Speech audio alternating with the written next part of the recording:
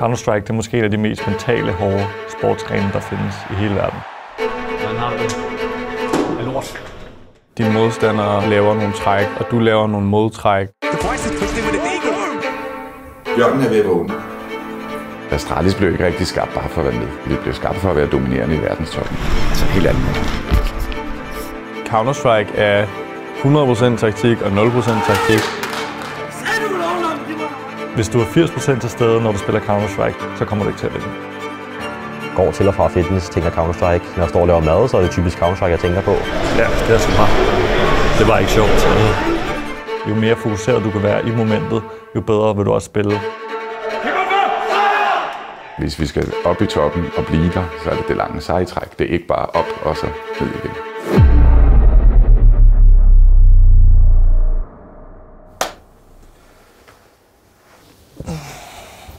Fedt. Okay, Lukas. Hvornår øh, startede du egentlig med at spille CS? Altså, øh, jeg tror, jeg starter med at spille Counter-Strike, da jeg går i klub.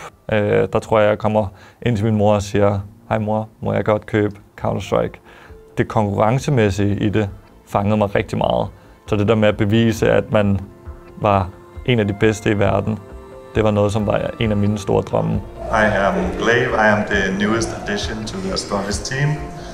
Uh, yeah, I am uh, the in-game leader, and I 2017 der er jeg næsten lige kommet ind på Astralis holdet. Og en af de første turneringer, vi skal spille, det er Majoren i Atlanta i USA. Og på det her tidspunkt har Astralis aldrig vundet en turnering, og Astralis har aldrig vundet en major. Og efter vi har vundet majoren i Atlanta, så øh, lige pludselig så kigger man tilbage, og så har vi vundet fire majors. En major i Counter-Strike, det er den mest prestigefyldte turnering, der findes. Det hold, der vinder en major, betegnes som verdens bedste hold. Alle husker majorvinderne. You've done it in Atlanta. You've done it in London. You've done it in Katowice. You've done it now in Berlin. Talk to me about the feels. Talk to me about what it feels like to be Astralis. It feels great, man. I have no words. Det, at vi har været så gode, det har jo også skabt nogle forventninger til det hold, som vi har nu. Give a big hand for the best teammates ever. Thank you. Men øhm, som man også ser med mange andre hold, så på et eller andet tid, så er der en eller anden form for downfall, og det er lidt det, som vi har ramt nu. Og det gør ondt, men der handler det om at kæmpe sig selv op igen.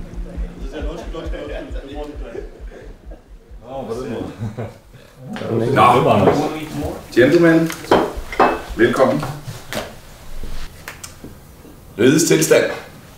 Hvad er egentlig formålet med det her? Nogen har været med på bootcamps før. Christian, du er helt ny, du har aldrig. Yes. Nogle har været andre steder end København, og nogle har ikke. Vi skal arbejde med at lave et solidt fundament for et hold, som kan stå uden at falde, hvis der kommer modvind. Og det gør der. Alle sæsoner har modvind. Vi skal også have, have fundet ud af, hvad er egentlig forventningerne. Jeg har nogle forventninger, men det har I jo også. Hvad er mine forventninger til det her? I 2023, vi skal op i top 3. Og jeg ser egentlig også øh, uh, Astralis som en bjørn, der har ligget og sovet vintersøvn, men er på vej til at vågne. Uh, og hvorfor tror jeg egentlig, at bjørnen er ved at vågne? Det er, når jeg kigger hele vejen rundt og ser, hvad har vi egentlig af potentiale. Vi har aldrig haft så stærkt et trænerteam. Min rolle i Astralis, det er altså strategi. Hvor er vi nu? Uh, hvor skal vi hen i fremtiden? Hvordan kommer vi derhen? Fra start 23 var simpelthen, okay, nu resetter vi. Vi ansat uh, Kasle Peter som uh, hovedtræner. Han havde uh, været meget overbevisende på vores talenthold. Vi fik hunden, Nikolaj, med som analytiker. Så har vi faktisk også fået dig med, Christian. Endelig har vi fået en specialist, der har firepower i den position, der er mange. Så velkommen til dig også, Christian. Det er en total fornøjelse, at du kommer på. Tak. Så tror jeg, at vi kommer til at starte det her i dag. Altså, hvordan fanden kommer vi til at vinde Danmark tilbage? Det gør vi med den struktur, Peter og jeg, vi har arbejdet på mere eller mindre hele december måned.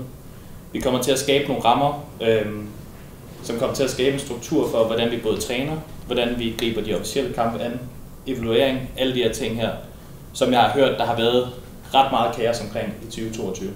Vi har et totalt stærkt potentiale. Men det er ikke ens betydning, med, at man vinder. Vi bliver nødt til at have skabt en retning for, for det her øh, projekt, så vi trækker i samme retning, så vi ikke løber i syv forskellige retninger. Jeg tror, det pres, der ligger på vores spillere nu, øh, når de kommer til Astralis, det er historien. Altså, det er blandt andet derfor, man vil komme, fordi vi skal have Astralis til tops igen. Men det er også en byrde. Jamen, vores resultater de sidste par år har været meget svingende, og ikke særlig Astralis-agtige, hvis man kigger tilbage i tiden. Øhm, vi har ikke øh, vundet en turnering i, i lang tid. Yes, jamen øhm, mine forventninger til 2023 og til Astralis i 2023, det er, øh, at spille mere om titler. Det øh, føler jeg lidt, vi har manglet hele sidste år, og det er noget, som man virkelig godt kan mærke, at man savner, når man ligesom har været deroppe før, så det virkelig været et hårdt år, ikke? Og, og ikke spille med om titler, så det håber jeg virkelig, at vi kan komme tilbage til sammen. Så Astralis blev ikke rigtig skabt bare for at være med. Altså vi blev skabt for at være dominerende i verdenstoppen og ligge konstant i toppen. Det er utrolig vanskeligt. Uh, et, at komme op i top, og derefter at fastholde positionen i toppen. Ikke? Det er jo sådan en konstant struggle på en eller anden måde, at man, man hele tiden kæmper for noget, som man ikke rigtig kan få fat i. Og det er virkelig hårdt, fordi du ved jo ikke, hvornår at det kommer. Men, og du ved jo faktisk ikke, om det nogensinde kommer. Og så kan I forvente af mig, at, øh, at jeg er en, der er villig til at ofre al den tid, jeg har i min hverdag på at, altså, fordi jeg så gerne vil det her, jeg så gerne være nummer et i verden, ikke også? Jeg er villig til at ofre måske noget, som mange andre måske ikke er, men jeg er altså villig til at ofre min tid med familien, jeg er villig til at ofre min tid med vennerne, jeg er villig til at ofre tid med piger og, og alle de der ting der, for ligesom at gå efter det her mål, som jeg har over at blive den bedste i verden, på det bedste hold i verden, ikke også? Altså, vi, vi har en langsigtet plan, og den følger vi, øh, uanset om der så måtte være nogle resultater, der er anderledes, end vi havde håbet på. Bjørnen er ved at vågne. Det er holdets bjørn. Men for at holdet for alvor skal i gang, så skal alle, os alle sammen, vi skal også finde den indre bjørn. Counter-Strike det består af to hold. Fem på hvert hold. Der er to forskellige sider, man spiller på. Det er offensiv side og den defensive side. Den offensive side skal prøve at plante bomben, og den defensive side skal ligesom forsøge at forsvare det her område. Og det første hold, der når 16 runder, de vinder. Counter-Strike er de hårdeste mentale spil, fordi du skal være så på hele tiden. Fokus på økonomi, modstanders taktikker, hvilke taktikker kører vi selv, hvad skete der sidste runde, og hvad skal du gøre næste runde. Man skal selvfølgelig være dedikeret, give alt til holdet, du har, være en god holdkammerat, der hele tiden sørger for at forbedre dig selv. Papiret giver os ikke kun svaret. Svaret er inde i spillet. Taktik kan føre dig til sejr, men det individuelle niveau, hvis den ikke er der, så er taktik ligegyldigt. Alt ligger i hjernen, og jo mere fokuseret du kan være i momentet, jo bedre vil du også spille. Så alle de ting, som du kan gøre uden for spillet til ligesom at være mest fokuseret her og nu, det er, det er virkelig vigtigt. Et af de nye tiltag her i 2023, det er blandt andet, at vi har fået BS ind som uh, mental coach.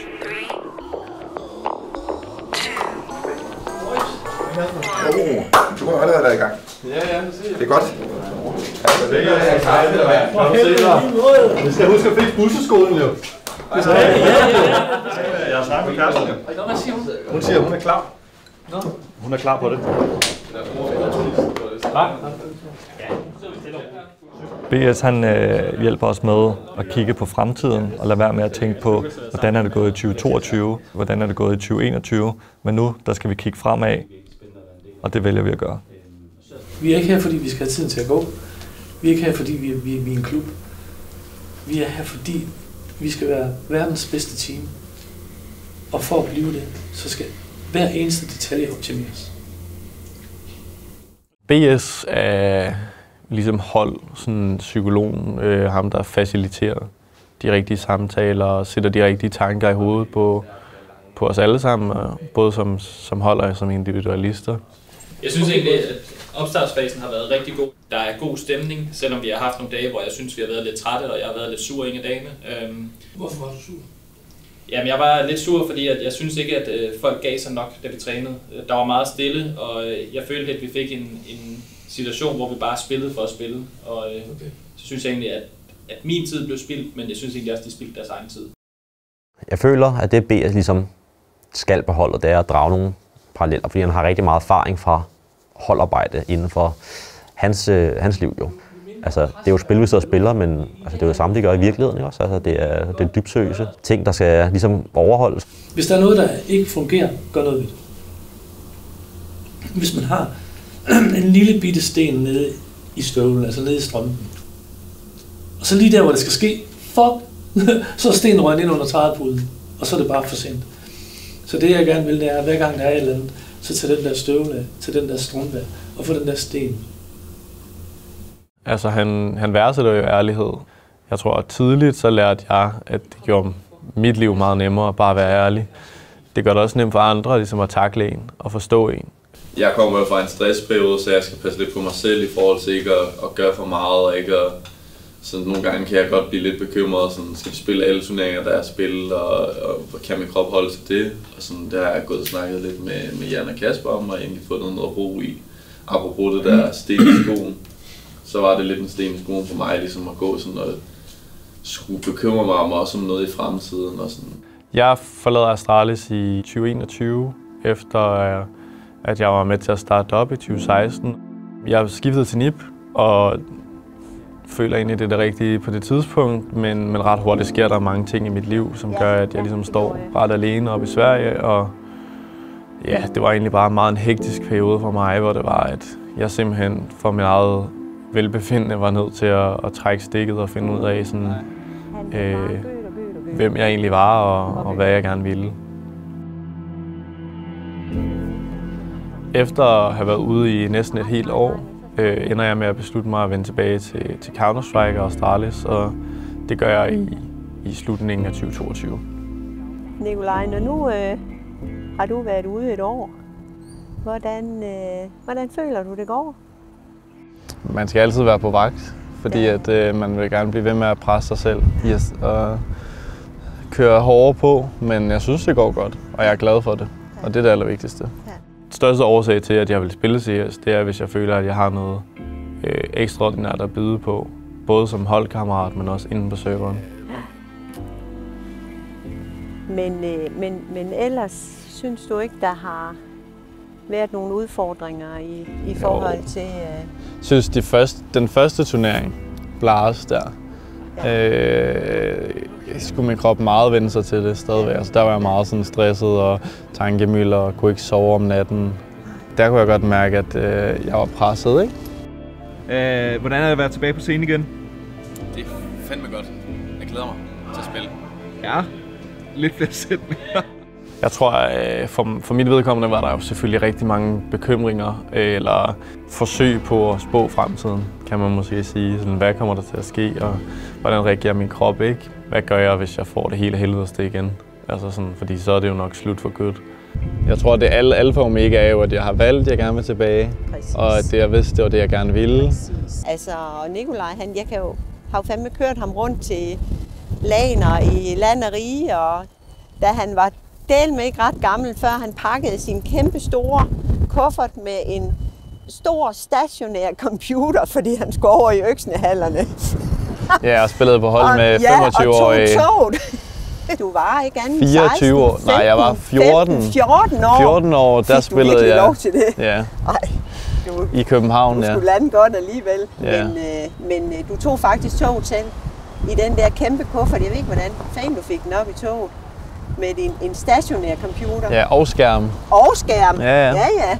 Det værste, som kan ske for mig, er jo, at jeg falder tilbage i, i det samme mønster, som jeg havde, inden jeg blev sygemeldt, hvor jeg ikke øhm, tog hånd om mig selv, og at øhm, jeg simpelthen ville blive tvunget ud med stress igen. Og for mig ville det betyde, at jeg ikke ville have lyst til at spille Counter-Strike længere.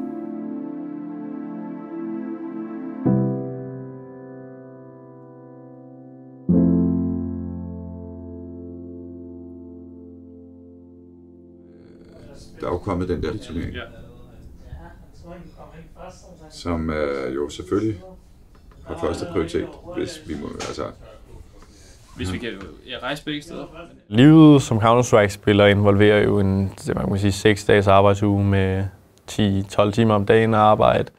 Vi har i snit øh, 150 rejsedage om året. Rigtig hårdt arbejde, rigtig meget arbejde, rigtig mange rejsedage. Især hvis man er et af de rigtig gode hold, så skal man jo spille alle turneringerne. Der er mange turneringer, og øh, vi skal prøve at overveje, øh, hvor meget kan vi rejse, uden at spillerne bliver brændt helt sammen, og hvornår kan vi egentlig træne, så vi har et rimelig fornuftigt niveau. Det er sådan et stort puslespil. Nogle turneringer ligger er fastlagt allerede i kalenderen, og så er der andre, der gerne vil ind med turneringer, men øh, kan vi overhovedet få det til at gå op? Jeg er gode kammerater med mange af de bedste spillere i verden, og, og til daglig, når jeg møder dem, og men også snakker med dem og skriver med dem, så fortæller de mig også, hvor fuldstændig grotesk, at øh, schedulet stadigvæk er og er blevet. Øhm, så, så det er et mega stort problem i Counter-Strike, at man, man, har, øh, man har meget travlt. Kalenderen er ofte en, øh, en udfordring, og det har det også været her. Jeg synes, at øh, det er enormt svært at finde en balance, som, som er sund. Og jeg tror også, at øh, en af nøgle elementerne i det hele er måske, at nogle gange er det ikke sundt.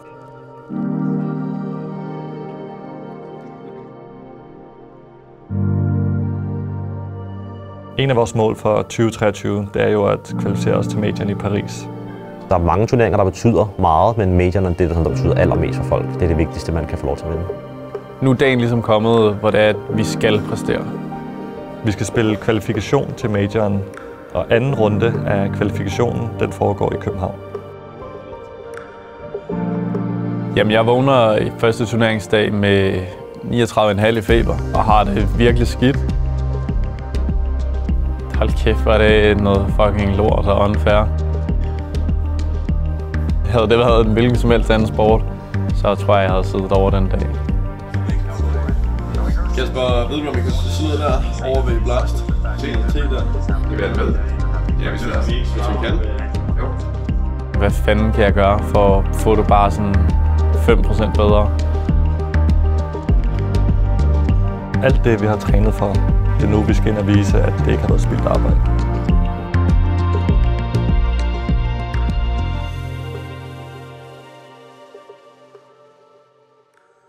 Det, der skal til at ske nu, det er, at uh, Astralis skal spille mod uh, Vitality, og vi skal ind og se kampen nu, og vi glæder os, og vi håber, at de klarer den. Vinder vi tre kampe her, så er vi sikret en plads til medierne. Taber vi tre kampe, så er vi ude. Første kamp er altid den mest, hvor man er lidt nervøs, tror jeg, i alle turneringer, fordi man tænker sådan lidt, sådan, hvordan skal det, skal det gå, og man vil gerne have en god start og alt det der. Altså, majoren betyder utrolig meget for Astralis. Øh, Det er verdensmesterskabet, det er den turnering, alle gerne vil vinde, så den betyder sindssygt meget for Astralis. Altså, goes without saying. Vitality versus Astralis. We're not in Paris yet. Gotta get there first. I think that like started cropping up like September of last year.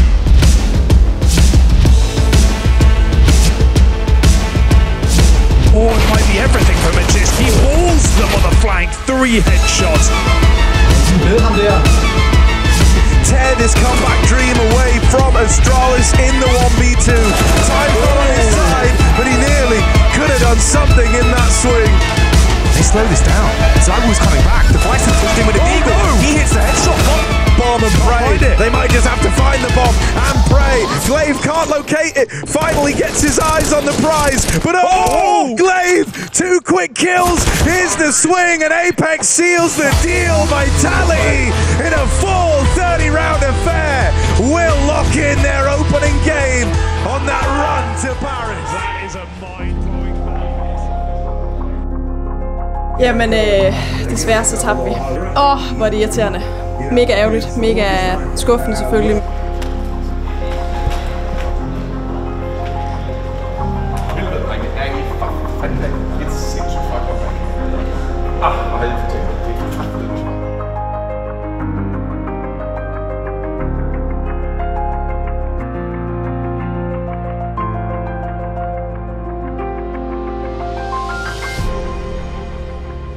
Efter Vitalis-kampen, så tager vi lige ud til Brøndby Stadion, hvor, øh, for lige at snakke taktik igennem, forberede os på næste modstander.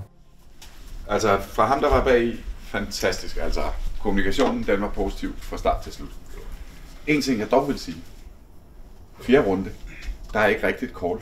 Så da I begyndte at løbe ud, jeg sidder kun og, og noterer, der var lidt et call, og så ellers måske var der faktisk ikke. Ja, det er fordi, vi sidder og snakker om køb hele, hele freestyle. Og den taber vi, den runde. Det er så klart, når man står bag jer, når I kommer ud med en fælles plan. Ja, vi taber mange runder.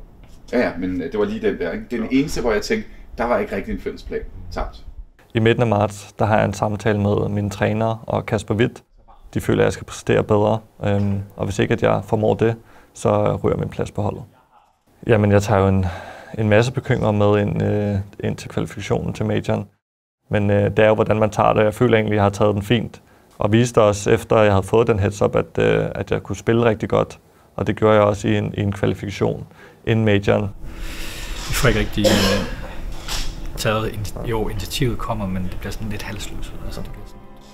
Det værste, der kan ske, det er, at jeg ryger holdet. Nu har jeg spillet for Astralis i så mange år, og jeg kan rigtig godt lide at være her. Og have den hængende over hovedet med, at man måske er på vej ud, det er ikke sjovt. I anden kamp, der trækker vi Eternal Fire, øh, hvilket er et hold, som vi skal slå. Very low health on Santaris. He's going to get finally dispatched off. Spray's pretty easy there for Major as he's just going to find Sip in the corner. And a 2-1-3, but the flank is here for X-Cloud. He could make this a quick double and he will! Oh no! It's just Device left and he's been found. Major spins around. Alt går galt i kampen mod Eternal Fire. Vi finder ikke rigtig vores gode spil frem, og når aldrig rigtig at komme i gang. Inden vi har set os om, så har vi tabt. For mig at se er, er hele første dagen lidt sådan toget, fordi at jeg har meget høj feber, så jeg kan faktisk ikke rigtig huske så meget fra kampene. Jeg er helt klart skuffet øh, over mig selv. Nu er vi 0-2, og vi skal kun tabe øh, en kamp for, for at ryge ud. Jeg spiller for en, en plads på holdet i fremtiden, men jeg spiller også for at øh, komme med til den sidste CSGO Major.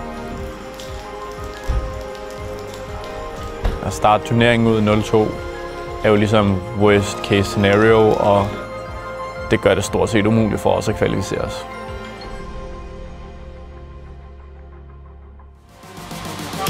Når jeg har talt om, at majoren kommer hurtigt for os, men du bliver nødt til at prøve at komme ud som gruppe og være i det pres sammen. The comeback is bigger than the setback. Jeg er ikke så god til det, men bare sige, vi finder ud af det. I det godt, drengene. Hold nu op!